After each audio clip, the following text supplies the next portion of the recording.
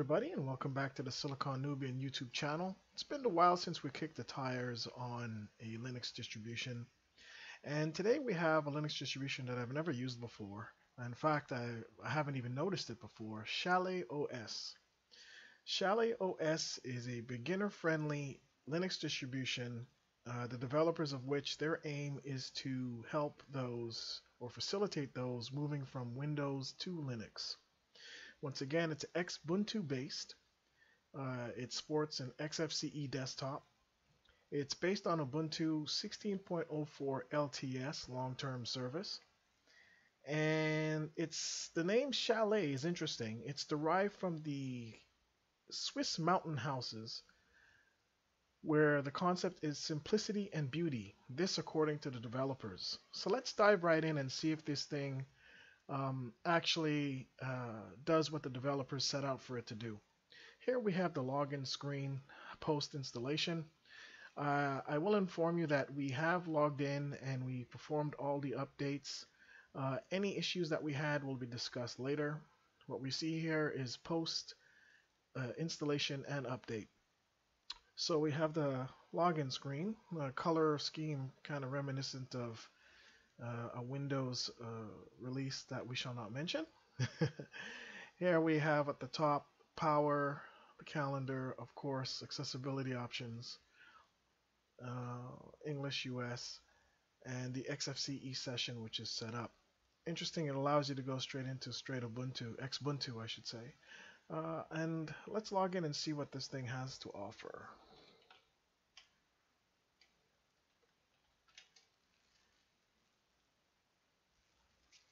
Cruising by in DistroWatch, I saw this and I decided, hey, you know, uh, let's give this a try. Let's kick the tires and see what it says. Here we have the default desktop. Nothing has changed. Once again, we did log in and perform some updates. Uh, we did have an issue post-install with the update manager spinning out a few errors. Uh, but that was solved fairly quickly and uh, things seem to be working now uh, having done all the updates that we finally got uh, installed on the system. Uh, so that might be a slight hiccup either for us or for other people depending. Uh, here we have a clock on the desktop which is not clickable, not movable. It's uh, part of the desktop. On the desktop we have the settings manager, my computer, start point, style manager. Yeah, we move below to the uh, to the toolbar at the bottom, we have the uh, minimize and open windows and show the desktop. This is an interesting location for this icon. Uh, the majority of distributions that I have used uh, generally has this icon over here, uh, which I think is actually a better placement, probably because that's where I'm so used to it, having been for so, so uh, many years in uh, using Linux and testing various distributions. here we have the calendar. Uh, I won't take points off for the location of this, by the way. It's just something I'm not used to, but it's there. Um, we have the volume sliders for the audio. Here's we have the networking. Okay, uh, battery. Computer is fully charged. We have this uh, UPS as part of the system. And here we have various different uh, desktops. The Conky switcher. We can switch between different desktop applets as uh, we've shown right now. So we've basically turned off the clock. And here we have uh, the uh, CPU usage, time, uh, battery, and the amount of RAM used. That's a very nice uh, little display actually. I like that. Moving over on the left side, we have a file search, Catfish file search, good, good thing to have. Uh, the file manager, which in this case, I believe it looks like Thunar. Yes, Thunar 1.6.10. Uh, post update, up to the time of the recording of this video, this is the version we have of Thunar. Here we have Mozilla Firefox, which is a reasonable choice for the default uh, web browser and works quite well.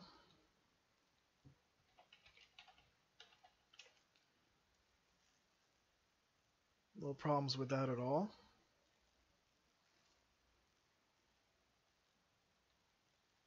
And we have the program menu here, and we'll go into that a little later, take a look at what comes installed by default.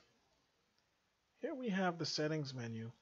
Uh, appearance, much like style changer, of course. Desktop, file manager, notifications. Uh, it's not exactly the most complete I've seen on different distributions, but uh, I like it that way. I like where you can build a, up from scratch and do your own thing and just make it yours. Of course, for a distribution that prides itself on being beginner friendly, uh, adding too much can be a, a, positive and a negative thing. It can be positive in that the new user has a lot of GUI tools to use to basically um, uh, configure everything they need in the system. The negative part is it might be too much for that same said new user. So it's a happy medium here. Uh, there's a few things in here that uh, very familiar with, of course. Uh, screen size settings, workspaces, window manager tweaks, power, mouse and touchpad, keyboard, removable drives, and media. And you, all these different settings you can have here, which is pretty good. All done in a nice GUI.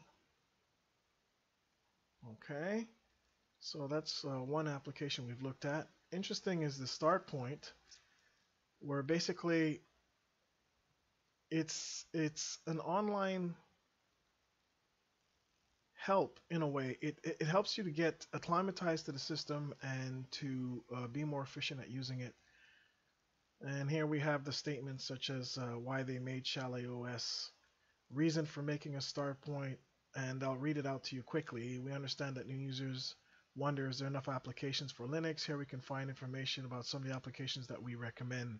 With them installed, you enjoy more in Chalet OS. I think this is actually a good thing, in particular when you have people coming over from the Windows world. The number one comment I get is I need to find equivalent applications that do what I need done under Windows. And my response is usually they exist. Um, most definitely tell me what you need and I'll give you advice on to what you can use. Uh, I'm not obviously I'm not talking about Chromium, which exists in the Windows world as Chrome or Firefox or Opera or Thunderbird or anything like that. But there are other things that they will look at. For example, uh, LibreOffice and uh, other Office suites and a few other things that they may not be familiar with but are fantastic in what they set out to do. So this is pretty good. So here we have the welcome. We have how, how to tab how to install Chalet OS alongside Windows. We have different videos here and information. Uh, recommended apps that you can install, Kodi, Lightworks, Musique. There's a few different ones here. Clementine, which I like a lot, SM Player, SM YouTube, all these different things. And it will take you to the applications website. And if it's available in their software center, it'll say this application is available in the software center and may not be the latest version. So it tells you right away if it's available. But the one failing I have here is it will not take you directly to the software center to install it. Instead, it'll send you to the uh, website of said application. Uh, let's look at what's included. Of course, the uh, my computer settings, we've seen all of this before. Here's the application center. And as in most Ubuntu derivatives, the application center is pretty easy, if not a little bit busy to look at. You'll see um, on the left, uh, everything is categorized. If I'm looking at internet, it'll give me a list of internet applications that are available. Uh, if I need to search, it'll allow me to search for applications, top rated applications, um, zip accessories, Ubuntu restricted, uh, FileZilla, Workspace, SM Player, and whatnot. Uh, so that's one disconnect I find with this in that it has uh, the start point has most of the checkboxes in the right area, except for the fact that it will not start up the Ubuntu Software Center. It would be nice if it could, if you clicked on an app and immediately start the Ubuntu Software Center and take you to that apps page so you can quickly download and install it rather than going to the website of that application. Uh, and if you're not familiar with Linux, having to go and download a Linux version and install it from scratch may be a little daunting for the beginners, although it's quite simple to do. So that's included. Um, okay. Here's all the apps. Here we have the settings, about me, additional drivers. Of course, that's when you need, for example, if you're running an Nvidia card or an AMD video card and you want proprietary drivers, that's the tool that's included. An excellent tool, by the way, in most Ubuntu-based distributions. Appearance, auto mount, much of the stuff we've seen. Cleaner. This is interesting in order to keep your system up and running, almost like a um, Linux version of CC Cleaner. Not as thorough, or I should say, please excuse me. I can't say it's not as thorough. It's just not as feature full, but it's there, and I uh, applaud them for including it.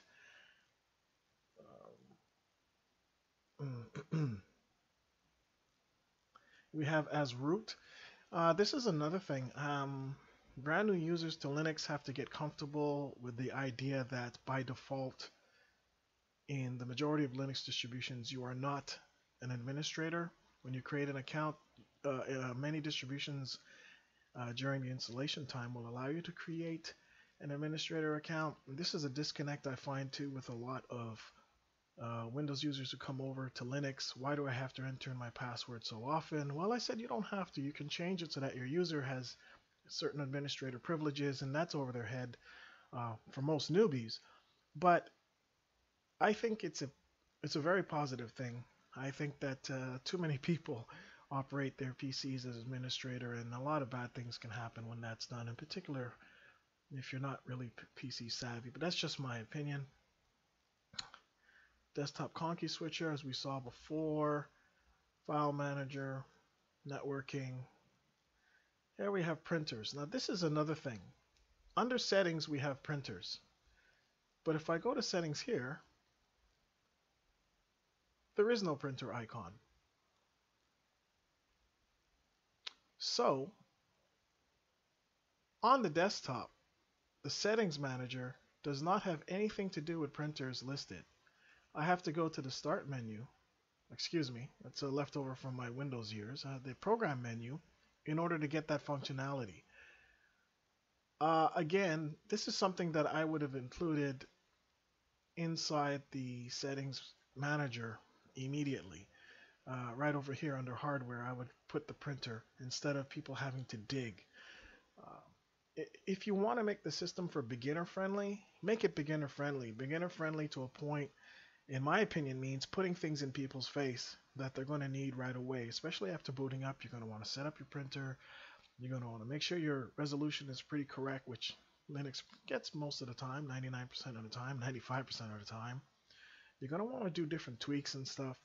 And I think it's advantageous if you would just make it a little bit more accessible in that regard. But that's I'm nitpicking in a way. But I hope most people will see what I'm coming at. One-click maintenance. That's an interesting tool. Partition editor, printers again. Software updater. Yes, as with most Ubuntu derivatives, there is an automatic software updater. It'll indicate when there's updates and it'll show you down in the taskbar uh, to the right side and you can run your updates software and updates start point startup disk creator interesting thing to have very good to have synaptic package manager of course for your packages time and date USB stick formatter a lot of Winetricks if you want to try and get some of those Windows software that you can't do without working under your Linux desktop there's a number of things here that look like they're very uh, doable. I wonder why the decision was made to leave them out of the settings uh, app on the desktop.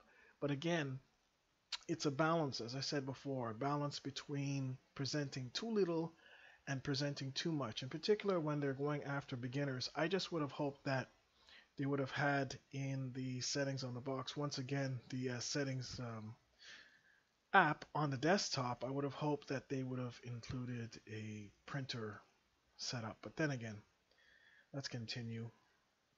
Accessories, we have Archive Manager, Bulk Rename, website, Cleaner, of course, a lot of other apps. One-click maintenance. Welcome to All-in-One System Update and Maintenance Assistant app. This simple script will automatically refresh your package list, download and install updates if there are any, remove any old kernels, obsolete packages, and configuration files to free up disk space without any need of user interface. Interesting tool. I haven't used it. I couldn't tell you if it works successfully, but uh, the aim of it seems very good. Graphics, we have, of course, Document Viewer, GIMP, Simple Scan, internet, Firefox is there. Uh, online video downloader, that's nice. A great little radio player. I like clicking on some of these more obscure apps, uh, applications, because sometimes they don't work properly. And I'd like to point that out as well. Uh, this one seems to be having an issue with hanging. And then we go down to Office. Um, great little bookshelf document viewer. LibreOffice is not installed by default, nor is any Office suite. Hmm. I think I'll have to take uh, half a point off for that. Again, beginner friendly, put everything in their face, give them all the tools they need to be productive immediately. And I think it would have been better if LibreOffice was installed by default.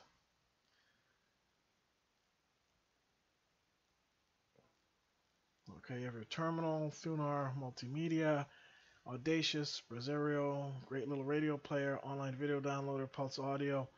That other software we tried to run, great little radio player, did not work. So obviously uh, there's a few little kinks here in the armor. And the Office suites, from what I could see, there's none installed at all. Hmm. So let me go now. Let's go to settings.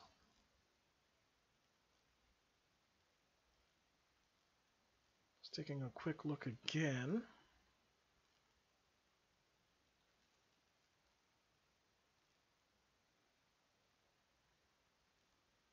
And to see what we have here, let's go to the Application Center.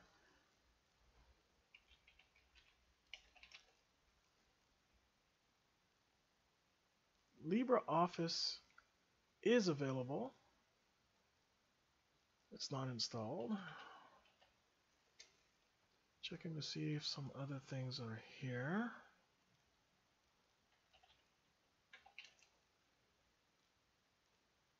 Spreadsheet. So LibreOffice is available. So to keep this video short and sweet, what do I find about Chalet OS and how would I rate it personally? Well, I like it. It's it's it's good to look at, nice looking, but I think there's a few failings in it that I hope will be addressed quickly in another release. This release is based on Ubuntu 16.04 LTS. Uh, once again, I think that for the beginner, there are probably better choices out there. Uh, in particular, for people who want to be productive immediately. Linux Mint comes to mind. Uh, most definitely. Even OpenSUSE, the latest one, OpenSUSE Leap, uh, may be a little bit more uh, friendly in terms of uh, being productive immediately. Uh, there's a number of other ones as well um, where you can hit the ground running. I think Chalet OS is onto something good but they need to tweak a little bit more and think a little bit more if they're presenting this for those who are moving from Windows to Linux, they need to really think what do I need immediately after installation? Uh, I need my apps to work, all of them, if at all possible. I need to be able to be productive immediately. I need to be able to find things quickly and easily and I want the system to be stable. being that it's based on Ubuntu, I'm fairly certain that the stability is, is good. But as we've seen, here's a style changer, which we haven't looked at, which is very nice at changing the way it looks and uh, customizing. I, I, I would have to say that Chalet OS is hit and miss in certain areas. Uh, a person like me, I'm not a beginner, and it actually makes it a little bit more difficult to think like a beginner. But I really do believe that a beginner wants everything set it up. This is what I'd use. This is what I click on. This is how I go. Let me get productive. I want to print right away. I want to use all the apps, check out it. I want to bump, kick the tires, check out all the applications, see what's available. And I think in that regard, Chalet OS probably scores about a six and a half to seven out of ten in terms of uh, getting new users right away set up and good to go. Uh, I'm not saying it's a bad Linux distribution, and I really hope that other people would try it out and kick the tires and see if they like it themselves. So that's it. That's my review of Chalet OS. Uh, once again, if you like what you see, subscribe, tell others about it. Let's get this channel growing. I'm going to try to put more content as much as I can. It's difficult, but I'm really going to try and get it done. So uh, take care, and thanks for watching.